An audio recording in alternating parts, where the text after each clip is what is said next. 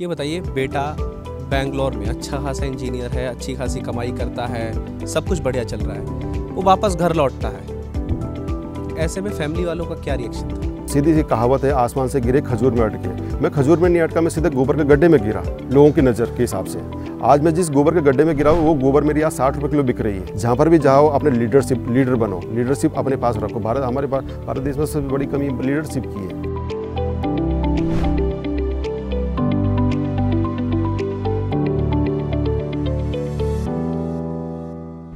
नमस्कार, मैं हूँ आपके साथ कावेंद्र चौहान और आप देख रहे हैं न्यूज़ वर्ल्ड इंडिया का खास प्रोग्राम, आवाज़। तो ऐसे में आज आवाज़ की टीम ने फैसला किया एक ऐसे शख्स की आवाज़ बनने का और ऐसी चीज़ के खिलाफ होने का कि जिसके चलते उत्तराखंड में पलायन एक बहुत बड़ी समस्या बनती जा रही है। जिसके चक्कर में उत्तराखंड के जो अच्छे पढ़े लिखे लोग, उत्तराखंड के जो प्रभावशाली लोग आज इस परिस्थितियों में आ चुके हैं कि वो उत्तराखंड छोड़ के बाहर जाते हैं और बाहर जाने के बाद वो उत्तराखंड से जितना कुछ कर सकते थे, वो सारी चीज़ें वहीं छोड़ देते हैं। तो ऐसे में लोगों के अंदर ऊर्जा भरने के लिए तो ऐसे में लोगों को एक सीख देने के लिए हमने वहाँ के लोगों से बात की। एक बीते अपने एपिसोड में हमने जिस तरीके से आपको दिखाया था कि दिव्या रावत किस तरीके से यहाँ वापस लौटी और मशरूम की खेती कर, आज यहाँ नाम कमा रही हैं और साथ ही साथ उत्तराखंड के लोगों को रोज़गार देने में भी मदद कर रही हैं। तो ऐसे में आज हम आपके सामने एक और ऐसा शख्स लेकर आए हैं जिसने अपनी करोड़ों की नौकरी छोड़ दी और आज वो उत्तराखंड वापस आए और उत्तराखंड वापस आकर वो यहाँ लोगों को रोज़गार दे रहे हैं और इसके साथ ही वो उत्तराखंड के लोगों के लिए काम भी कर रहे हैं। खुद के लिए काम हर कोई करता है, लेकिन दूसरों के लिए जो काम आए, वही असली में लोगों के लिए, समाज के लिए और एक अच्छा देश बनाने में अपना योगदान देता है, अपनी मदद करता है। आप ये पूरा इंटरव्यू देख लीजिए, फिर उसके बाद हम आगे बात करते हैं। तो दिल्ली से उत्तराखंड के सफ़र में हम उन लोगों से मुलाकात कर रहे हैं जिनके ज़रिए हम आपको एक तस्वीर दिखाना चाहते हैं, जिनके ज़रिए हम एक बदलाव लाने की कोशिश कर रहे हैं। एक व्यक्ति से मैं आपकी मुलाकात कराने वाला हूँ, जिसने अपनी अच्छी खासी नौकरी छोड़कर अपने गाँव वापस आना ज़्यादा बेहतर माना। और वो यहाँ लौटे, कोई प्लान नहीं था, कुछ भी नहीं था। यहाँ आते हैं और किस तरीके से अपनी ज़िंदगी को तो बदलते ही हैं, साथ ही हज़ारों परिवारों को भी बदलने की कोशिश करते हैं।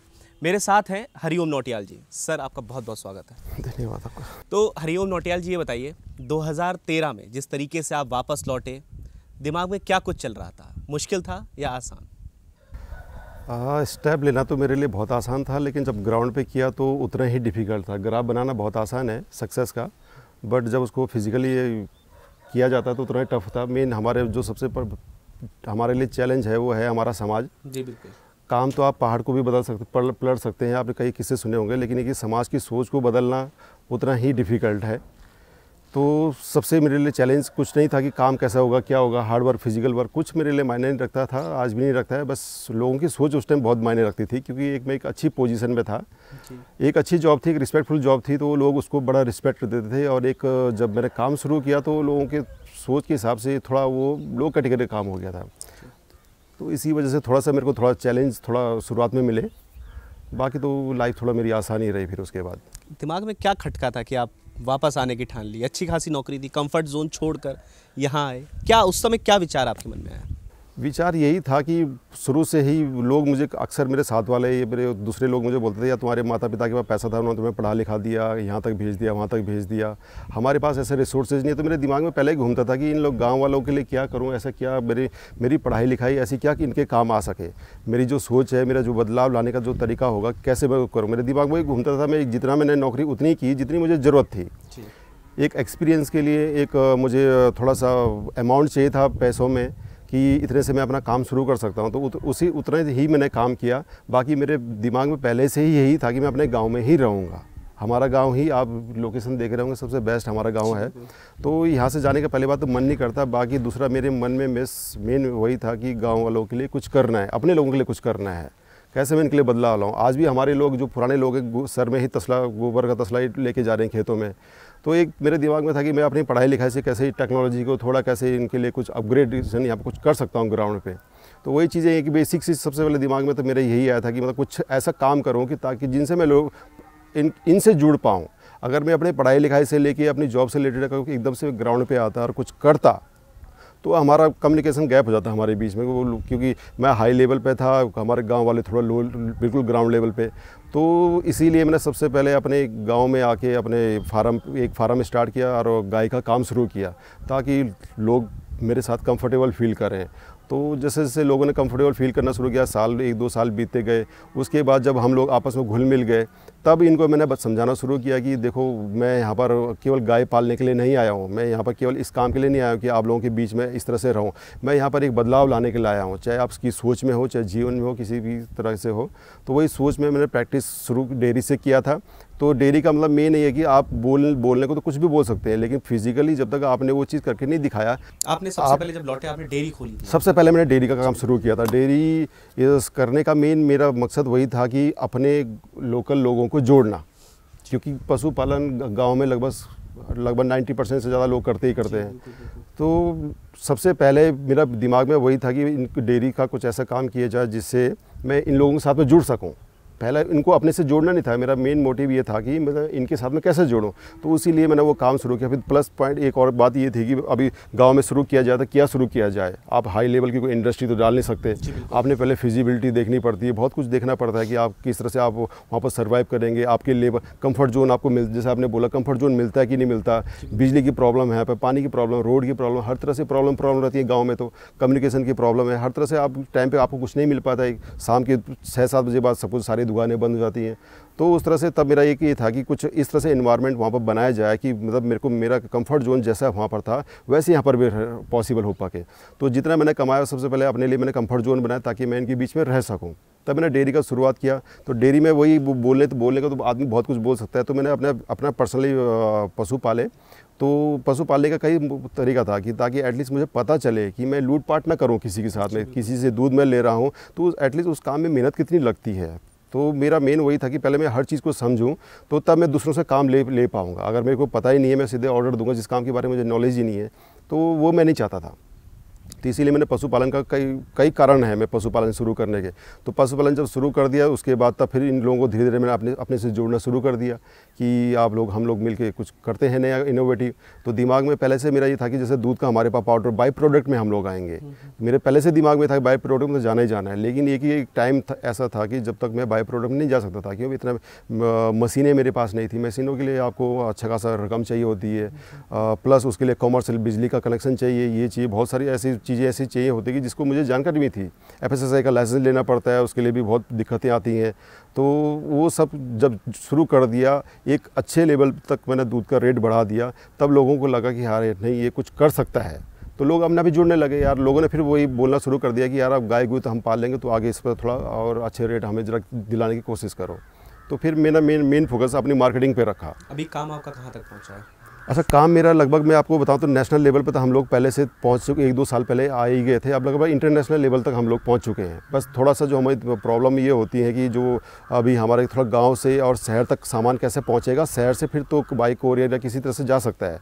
तो एक छोटी छोटी डिलीवरी देने के लिए हमें शहर जाना पड़ता है, फिर शहर से हमारे आगे फर्दर फिर देश विदेश जहाँ भी जहाँ सामान डिलीवर करना पड़ता है, हम वहाँ कर देते हैं। सोशल मीडिया की ताकत अगर आप लोग केवल घर बैठे बैठे अगर केवल अपने फ़ोटो को अपलोड कर रहे हैं और उसको लाइक करवा रहे हैं, समझ रहे हैं हम सुपर स्टार बन गए तो मेरे, मैं तो उन लोगों को बोलता हूँ कि भैया ये ना करो, बल्कि ये चीज़ करो, इससे मिलता जुलता थोड़ा पैरेलली ये काम करो कि ऐसा काम करो, उसके साथ में तुम्हें पैसा भी मिले। तो वही हम अब ट्रेनिंग सेंटर में हमारा केवल ये नहीं कि कंप्यूटर में एक्सपर्ट बना दिया, उनको पूरा प्लेटफॉर्म हम लोग दे रहे हैं कि भैया अगर ग्राउंड से जैसे हमने किया है अचार हो गया चाहे आज हम मसाले का काम कर रहे हैं, या हमारे पास आइसक्रीम की दुनिया में जितनी आइसक्रीम बनती है, सब हमारे, आज हमारे अपने फैक्ट्री में बन रही हैं। तो हम लोग भी वही बोलते हैं कि भैया, अब केवल हमारे पास अपना दूध है। दूध हमारे गाँव में आज भी मतलब और दूसरी कंपनियाँ जो हैं, लगभग बीस तीस रुपये किलो, मुश्किल से पच्चीस रुपये किलो दूध उठा रही हैं। वही मैं आज बात करूँ लगभग मैं 40 से 45 रुपए किलो से 50 रुपए किलो तक लोगों को दे रहा हूँ यहाँ पर गाँव में, जबकि दूसरी कंपनी अपनी केवल 20 से पच्चीस रुपये ही दे पा रही हैं। तो इतना मतलब डबल रेट से भी ज़्यादा मैं लोगों को देने लग गया हूँ। देने का मेन कारण मेरा ये है कि आज मुझे पता है कि मेरी आइसक्रीम आज लगभग ढाई सौ तीस से तीन सौ किलो बिक रही है। एक किलो दूध में मुझे पता है मैं कितनी आइसक्रीम बना लेता हूँ। तो मेरे को तो प्रॉफिट ही प्रॉफिट है। प्लस अब ये कि मेरे को इतना प्रॉफिट तो मेरी जॉब में भी था मेरे को सैलरी अच्छी मिल रही थी मैं अच्छी ज़िंदगी थी। अपने प्रॉफिट के लिए मैं यहाँ पर नहीं हूँ। मैं यहाँ पर हूँ सबको साथ जैसे गवर्नमेंट भी बोल रही सबका साथ विकास तो उसी तरह से मैं अभी थोड़ा बहुत कोशिश अपनी तरफ़ से कर रहा हूँ एफर्ट लगा रहा हूँ अभी आपसे गाँव के आसपास के क्षेत्र के कितने लोग जुड़े हुए हैं? लगभग मैं आपको बताऊँ, लगभग 12 से, लगभग 12 साढ़े बारह से तेरह गाँव लगभग मेरे से जुड़ चुके हैं, लगभग छः सात सौ लोग मेरे से डायरेक्टली जुड़ चुके हैं। जिनका दूध मेरे पास आ रहा है या जिनके घर से मतलब जैसे अचार होगी आंवला हो गया, चाहे आम हो गया, कोई भी मतलब जूस का कोई सामान हो गया, चाहे अचार का कोई सामान हो गया, मैं डायरेक्टली मतलब वो लोग हमसे जुड़े हुए हैं। बाकी इनडायरेक्टली तो कह नहीं सकते गवर्नमेंट की हमारे पास बहुत सारी योजनाएँ चल रही हैं। तो इनडायरेक्टली तो लगभग हमारे पूरा, पूरी ग्राम सभा किया, हमारे दूसरे और ग्राम सभाएँ और दूसरी न्याय पंचायतें, बहुत सारे लोग, काफ़ी लोग अब जुड़ चुके हैं। इंजीनियरिंग की पढ़ाई और अब डेयरी और तमाम काम, आप, वो भी मैंने देखा था कि फार्म भी है आपका, कि, मुर्गी फार्म भी है आपका, वो भी देखा था मुर्गी का। इंजीनियरिंग की पढ़ाई से इन सब कामों में क्या कनेक्शन आपने बिल्ड किया? देखिए मेन कनेक्शन तो मैं आपको बताऊँ मन की शांति है। हर कोई आदमी एक घर में कुत्ता पालता है कोई बिल्ली पालते हैं कोई गाय पालता है कोई कुछ पालते हैं। मेरी सोच थोड़ा उनसे ज़्यादा थी। लोगों ने एक एक पाला मैंने थोड़ा कॉमर्शियल तरीके पे आ गया। Okay. मैं मेरा मेन मोटिव ये था कि मैं कम से कम गाँव में जाके मैं गाँव के लोगों के बीच में इतना घुल मिल ना जाऊँ कि मैं अपने आप को भूल जाऊँ। तो मेरा मेन मकसद वही रहता है कि लोगों के बीच में जाऊँगा तो आचार विचार बदलेंगे तो हो सकता है उनको मैं अपनी तरह ना बना पाऊँ, लेकिन वो मुझे अपने अपने जैसा ज़रूर बना देंगे। तो इसलिए मैं ज़्यादातर अब अपने मुर्गियों के बीच में रहता हूँ या अपने पशुओं के बीच में रहता हूँ, उनके साथ में समय बिताता हूँ तो मुझे आगे सोचने की ताकत मिलती है, ताकि मैं अपने मतलब जो मेरा, मैंने सपना देखा हुआ है, जो एम मेरा है, उसे मैं भटकूँ ना। अच्छा गवर्नमेंट का सपोर्ट हमारे लिए बहुत मतलब मज़ेदार रहा है, क्योंकि मेरे पास एक लिमिटेड अमाउंट था जब मैंने नौकरी छोड़ी थी। तो लिमिटेड अमाउंट कब तक चलता? उसमें तो थोड़ा बहुत मैंने अपनी बिल्डिंग बनाई फार्म बनाया इधर उधर काम में ही मशीनें थोड़ा बहुत लाया था तो उसी में लग गया था। उसके बाद अब मैं मेन लोन लोन के लिया है मैंने सब्सिडी वाला लोन लिया मैंने। आज मेरे पास लगभग मैं 11 से 12 अभी पिछले छः सात साल में लगभग 11 से 12 गवर्नमेंट की सब्सिडी वाली योजनाएँ ले चुका हूँ। अच्छा आपने माइग्रेशन का देखा होगा आपने पलायन जो है यहाँ की प्रमुख समस्याओं में से एक बनती जा रही है। लोग बहुत छोटे छोटे अमाउंट के लिए बाहर जा रहे हैं दिल्ली जा रहे हैं बाकी तमाम अन्य शहरों में जा रहे हैं जबकि देवभूमि उत्तराखंड में खुद के रिसोर्सेज बहुत ज़्यादा हैं। मैं आपको सीधी बोलूँ एक आदमी छोटी सी नौकरी के लिए बाहर भर रहता है मैं अभी मैंने आपको बताया कि मैं एक बैंक अपने पास ले आया हूँ। बैंक का मैनेजर भी मैं बन गया हूँ जिसमें मतलब आपने ऑनलाइन सर्विस देनी है। तो अगर आपको इतनी जानकारी इसलिए हमने अपना ट्रेनिंग सेंटर खोला है ताकि दुनिया को बता रहे हैं, केवल अपने गाँव को नहीं, अपने स्टेट को नहीं, पूरे भारत देश को नहीं, पूरी दुनिया को ये बता रहे हैं कि भैया, आज गवर्नमेंट इतनी अच्छी अच्छी योजनाएँ दे रही हैं, आप थोड़ा सा नौकरी के लिए के चक्कर में बाहर जा रहे हैं तो वो आपकी बेवकूफ़ी है टोटल बेवकूफ़ी है। तो आज मैं अपना बैंक खोलने को तैयार हो गया हूँ। कैसे खोलना हो कैसे खुलेगा? आप जरा देखें तो सही, आप दाएँ ताका झाँकी कीजिए, गवर्नमेंट आज कैसी कैसी योजनाएँ दे रही हैं। भले ही उतनी नौकरी नहीं दे रही लेकिन योजनाएँ बहुत बढ़िया बढ़िया हैं इनडायरेक्टली और सब्सिडी वाले आप लगा लीजिए उत्तराखंड के वासी तो सबसे मतलब लकी है जो जिनको मतलब 90 90 परसेंट की सब्सिडी मिल रही है। हमारे पास भी दो दो योजनाएँ आई हैं जिसमें 90 परसेंट सब्सिडी है। तो अब 90 परसेंट सब्सिडी दुनिया में कहाँ मिलेगा? जी बिल्कुल। 90 परसेंट सब्सिडी मज़ाक बात नहीं है। बहुत बड़ी बड़ी बड़ी बात हो जाती है। देखिए यंगस्टर्स आपको देख के काफ़ी इन्फ्लुएंस्ड फील करते होंगे। तो ये बताइए आप उन यंगस्टर्स से क्या कहना चाहेंगे जो सोचते हैं कि बाहर जाके कम नौकरी करेंगे फिर उनको वहाँ उसी की तरह ट्रीट किया जाता है कि बाहर से आए हैं, नौकरी कर रहे हैं। तो उनसे आप क्या मैसेज देना चाहेंगे अपने थ्रू कि उनको यहीं पर अपना स्वरोजगार जिसको कहते हैं, खुद का काम करना चाहिए या फिर यहाँ पर रह के कुछ नई चीज़ें डेवलप करनी चाहिए, कुछ नए आइडियाज़ के साथ आना चाहिए तो उनसे आप डायरेक्ट मैसेज क्या देंगे गुरु मंत्र क्या देंगे आप देखिए, बिल्कुल मैं तो ये बताना चाहूँगा कि आप थोड़ा बहुत काम कीजिए, क्योंकि देखिए, घर का अगर घर में ही रह के आप शुरू कोई शुरू करते हैं और बाहर की आपको ठोकरें नहीं मिली है तो बाहर की ठोकर खाना भी बहुत ज़रूरी है।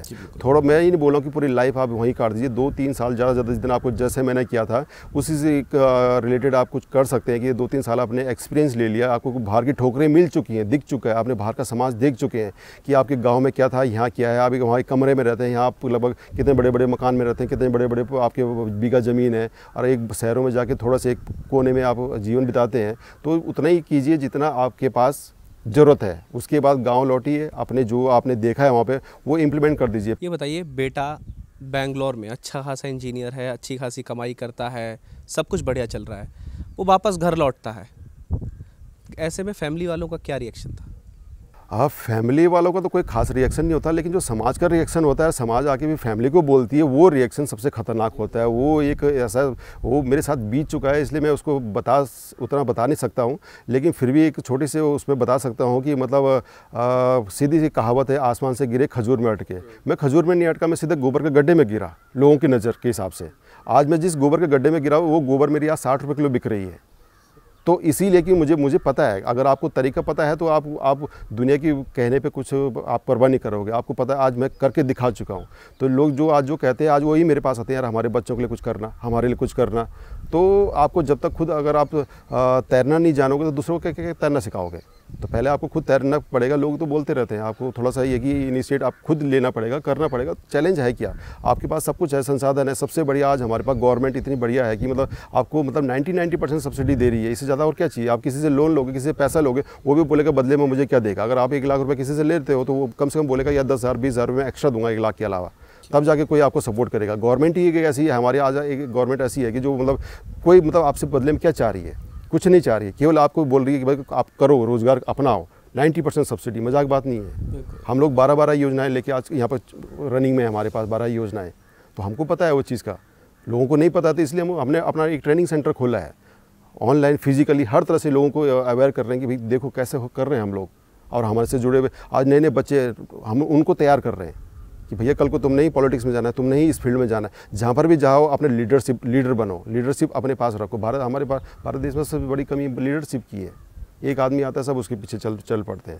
तो मेन हमने जो आज ट्रेनिंग का हमारा मुद्दा रखा हुआ है हमने, वो लीडर बनाने का रखा हुआ है। हमने वर्कर बनाने के लिए बिल्कुल नहीं रखा है। वर्कर तो हमारे देश में, अब दुनिया में कोई कमी नहीं है। मेन हमने अपने देश को वो ये कि मेरा देश, जो मेरा प्लान है, अपने गाँव हो गया, चाहे हमारा देश की बात मैं बताऊँ, लीडरशिप। लीडरशिप की कमी हमारे देश में है वो लीडरशिप मेरे पास है औरों के पास भी हो सकती है सबके पास अंदर है सबके जो रह रहा है सांस ले रहा है सबके पास लीडरशिप है बस उसको निकालने के तराशने की ज़रूरत है बस। वही काम मैं आप यहाँ पर कर रहा हूँ अपने लिए तो मैंने बहुत कुछ कर लिया है अभी थोड़ा समाज के लिए। समाज की आप मदद कर रहे हैं।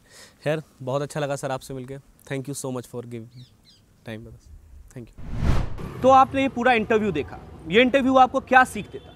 ये इंटरव्यू ये सीख देता है कि हमको कभी भी अपनी जड़ों से दूर नहीं होना है।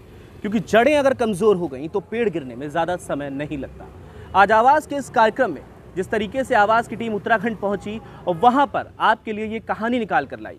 ये कहानी दिखाती है कि आज भी किस तरीके से लोग जो हैं अपने समाज के लिए काम कर रहे हैं, आज भी जो लोग हैं अपने राज्य के लिए काम कर रहे हैं। और ऐसे में जब छोटे छोटे राज्य मिलकर ये एक अच्छा देश बनाते हैं, हमारे देश को संवारने में मदद करते हैं। मैंने जैसा कि हमेशा कहा है कि जहाँ पर अंधेरा है, जहाँ उजाले की किरण की ज़रूरत है। ऐसे में आवाज़ की टीम हमेशा एक समाज जलाने की कोशिश करती आई है और हमेशा करती रहेगी। धन्यवाद।